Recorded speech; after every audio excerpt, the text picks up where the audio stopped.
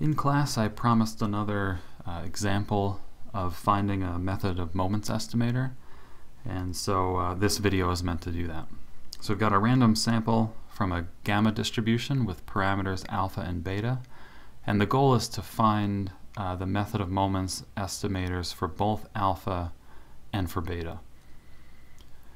So in this example, I suggested in class that maybe it would be a good idea to equate the first moment and then the second centralized moment. And uh, let's do that. So for the first moments, we can, um, so mu1 population moment uh, equal to m1, the first sample moment, is the same as alpha over beta is equal to x bar. Right? Alpha over beta is the mean of a gamma distribution. x bar is always the sample mean. And this would suggest that we can set alpha equal to beta times x bar.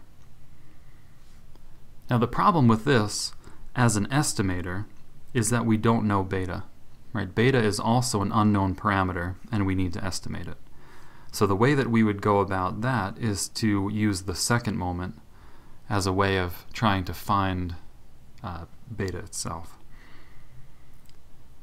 And the reason why I suggest going with the second centralized moment is because we already know what the second centralized moment is. It's the variance for the for the population. So we would set the variance, population variance, alpha over beta squared, equal to the second um, centralized sample moment. So 1 over n times the sum of the xi's minus x bar squared. And the goal here is to uh, solve for beta using what we know about alpha.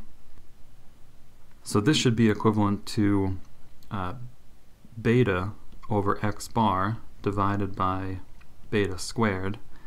And the reason for that is because we know that alpha is equal to beta times x bar, and so we plug it in there, in for alpha. And all of that is equal to uh, 1 over n times the sum of those deviances. And then of course the beta cancels with one of the betas in the denominator and you'll just have x bar over beta is equal to 1 over n times the sum of those deviances. And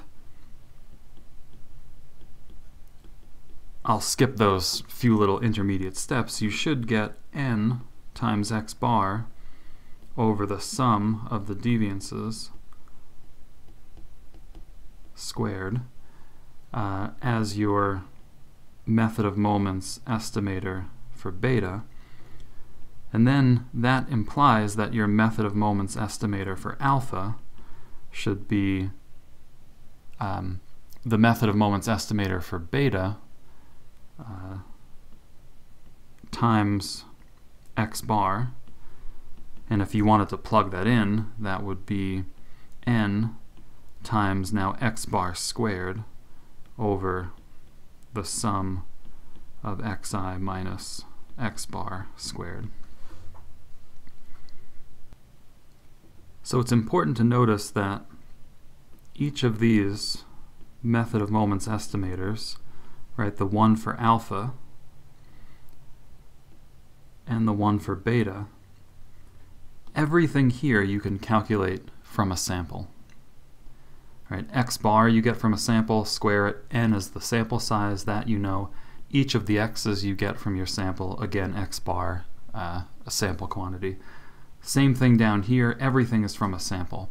So if we're uh, deriving an estimator, you should always be able to calculate uh, the estimator from sample quantities or other things that we say are known.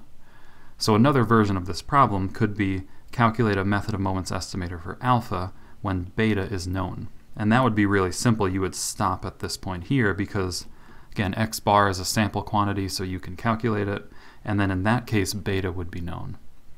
But in this more complicated version, where beta is unknown, we have to use the second moments or second centralized moments, and then solve and make sure that we get everything in terms of quantities we can compute, namely no unknown parameters in the estimators.